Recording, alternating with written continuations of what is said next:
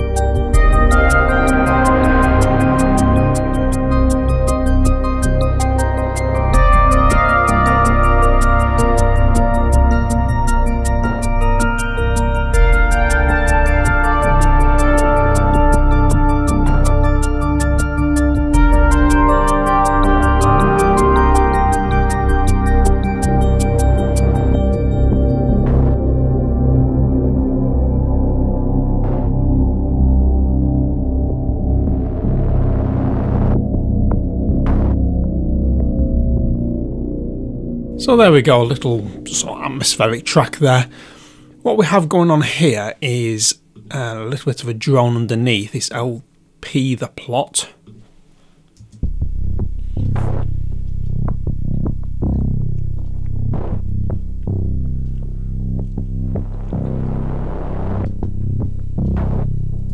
So that sets an instant atmosphere straight away.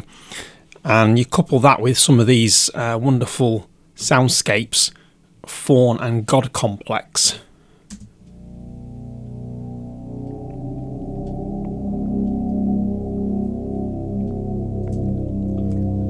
Has that horns of doom type sound that that does.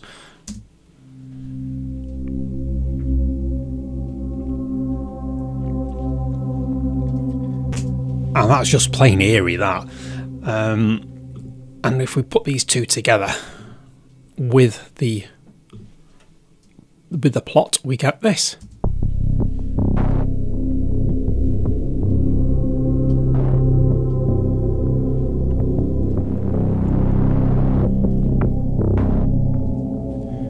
So it makes you think this is going to be an ominous, sort of creepy type track. But then we have the twist, which then goes into more melodic territory, and we end up with some more sort of drums going on here. This is Grimmer.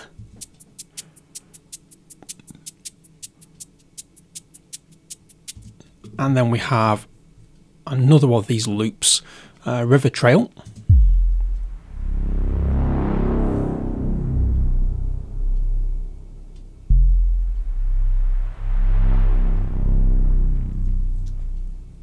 And when you put them all together, we get this.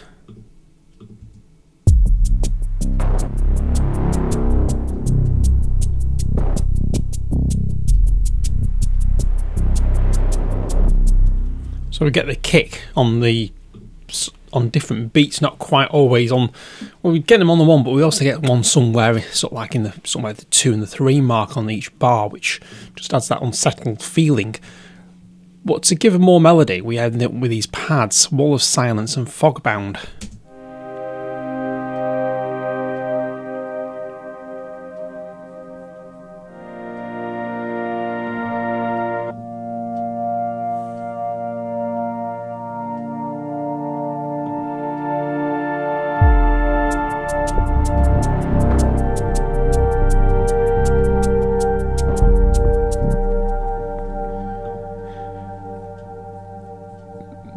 For the actual melody, we use loose ends and Olvo.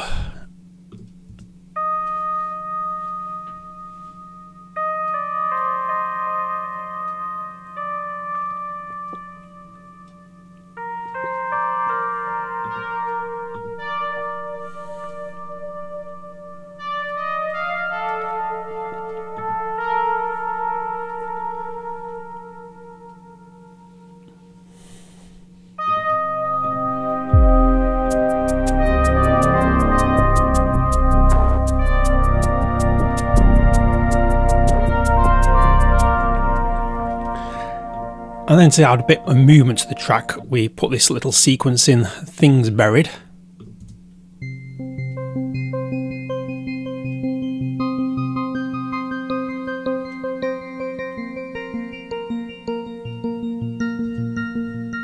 So just mute that one and play from here.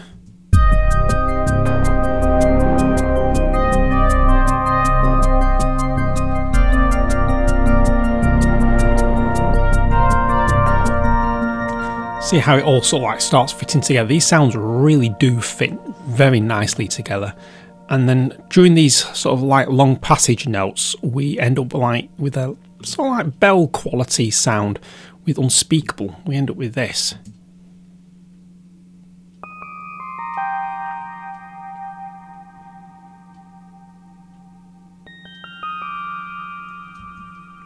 So if I just play that from here with everything on and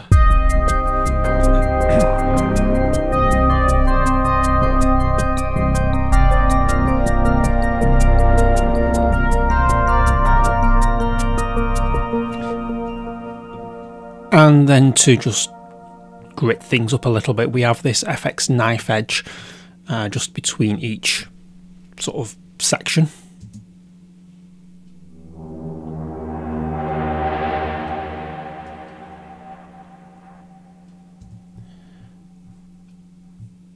And that is about it. So on the way out, we put the atmosphere back on just to lend a little bit of sort of atmospheric ending.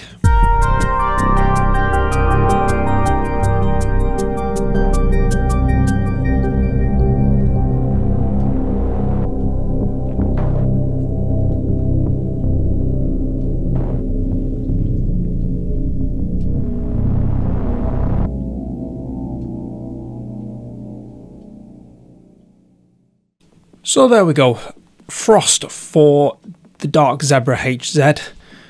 This is a great library that exudes Nordic and Euro noir, cold, dark, with a throbbing bass lines. I really enjoyed giving this library a spin. There's a lot to unpack, and I got serious Jóhann Jóhannsson vibes playing through a number of these patches. Some of the standout sections for this library were the loops and the pads. First, the loops, there was some kind of cold, visceral quality to them that just reeks of something sinister lurking around the corner. The pads, on the other hand, are light, airy, got that light, glassy quality, but we still retaining that dark overtone for this type of genre. If you are looking to bolster your Nordic and Euro Noir sound palette, this patch library is certainly one to check out and pick up. The patches fit together nicely when mixed together and require very little in the way of balancing for the soundscape and uh, making sure that they don't peak too much. We would like to thank Sonic Underworld for sending Frost over for a review. If you enjoyed this video, give it a thumbs up and subscribe to the channel to stay up to date with the latest releases in the music software world.